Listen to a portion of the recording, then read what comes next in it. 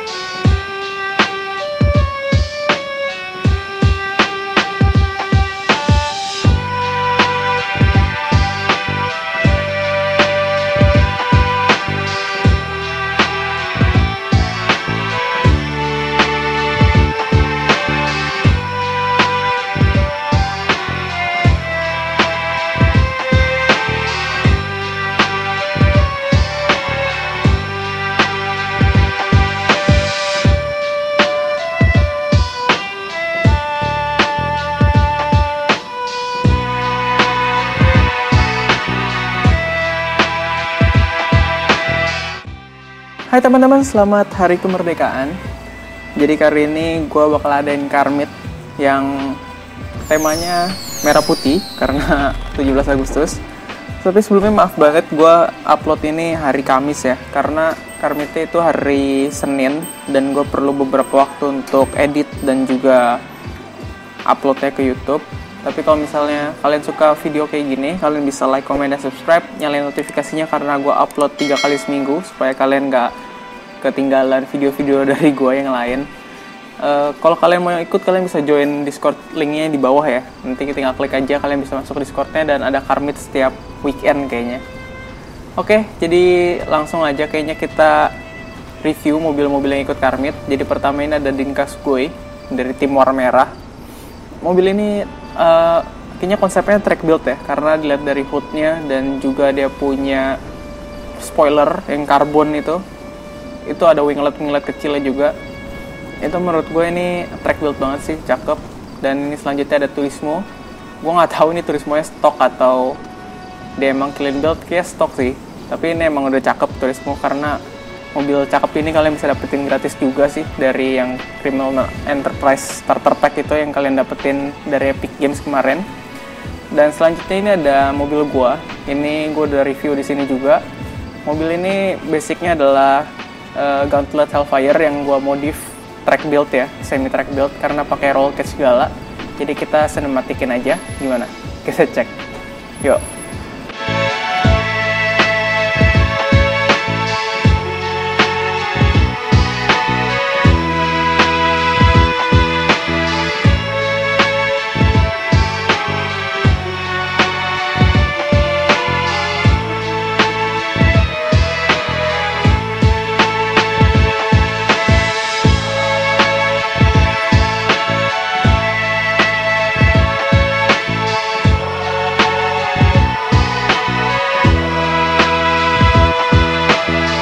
Di sini juga ada mobil BF Club ya, yang kalau misalnya ini udah gue review juga, ini mobil baru.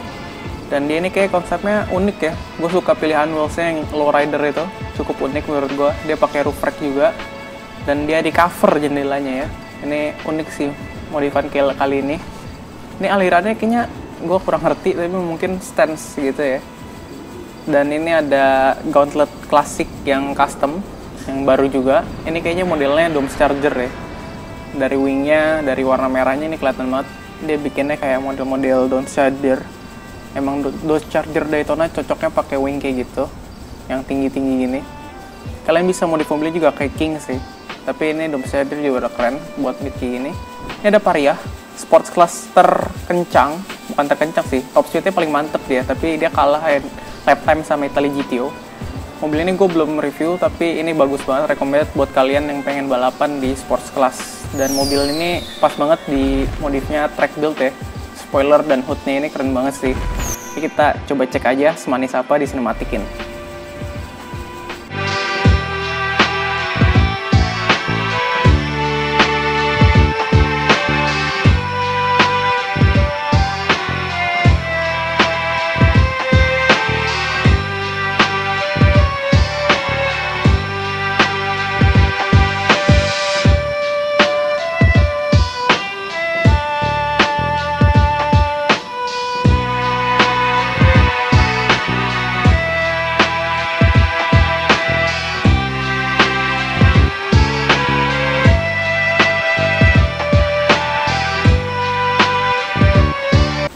mobilnya ada Krieger di sini juga. Krieger itu gua udah review, kalian bisa lihat reviewnya di sini nih. Mobil ini tuh supercar terkencang dari segi lap time dan drivability menurut gua karena dia AWD lebih gampang dikendalin daripada lawannya itu Emerus. Ini mirip-mirip ini ya, track build juga ya, hood scoop, spoilernya, dan dia punya ininya emang supercar sih kayak gini sih buildnya keren selanjutnya ada shafter. Ini gue nggak tahu shafter V12 atau shafter biasa tapi ini shafter itu emang keren banget sih. Dan dia pilihan wheelsnya dia pakai wheels yang baru. Ini keren banget menurut gue menurut gue buildnya cocok yang clean clean gitu sih kalau shafter. Clean clean VIP tapi ini wheelsnya dia pakai tire lettering. Tapi tetap cakep sih. Nggak tahu kenapa. Keren juga itu pakai yang yellow lettering selanjutnya ada Sultan RS ini adalah Sultan yang sudah di upgrade ya di Benis dan modifikasinya lebih ke rally dan track build. Gue suka pilihan wheelsnya dan interiornya ini cakep banget. Jadi kita langsung cek aja sinematik ya.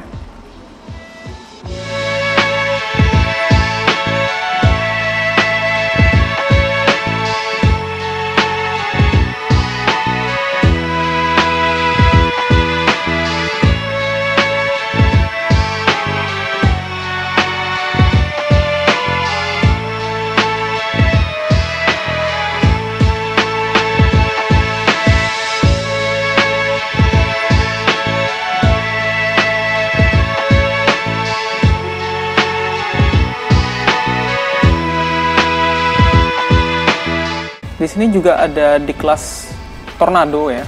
Uh, modifnya ini cukup clean, gue suka tapi emang bukan style gue sih mobil-mobil kayak lowrider gini sih. Tapi overall emang buildnya proper menurut gue nih cocok.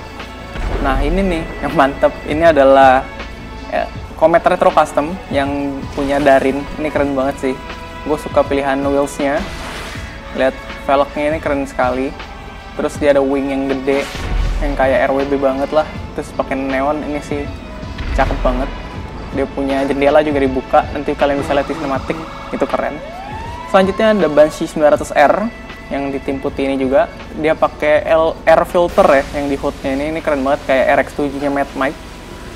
Terus ini udah Banshee yang white body ya. Dan juga dia pakai ducktail yang ada bolt on nya itu kayaknya. Ini keren banget sih. Jadi kita kayaknya bisa lihat di sinematikin aja ya. Nggak usah banyak jelasin keren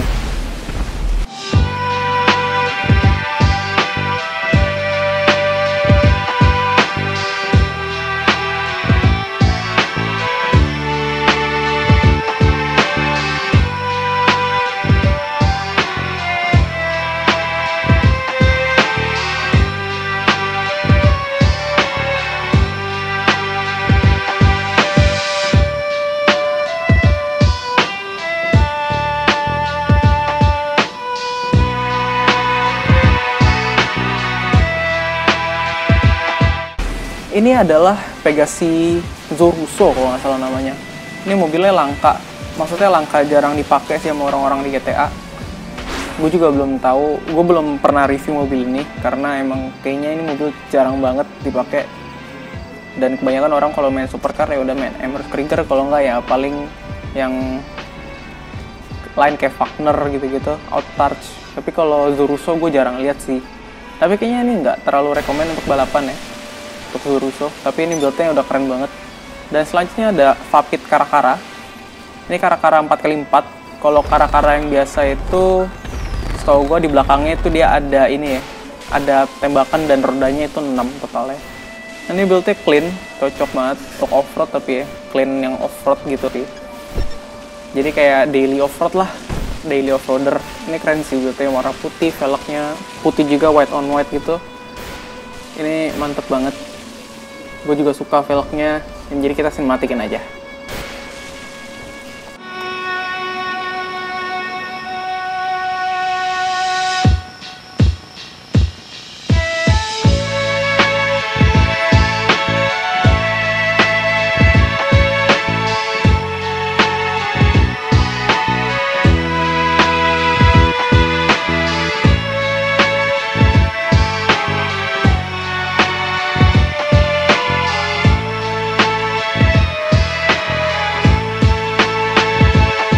Oke, jadi ini mobil terakhir yang wrap up segala review-previewan dari Karmit kali ini. Tapi jangan klik away dulu, karena bakal ada sinematik-sinematik lagi.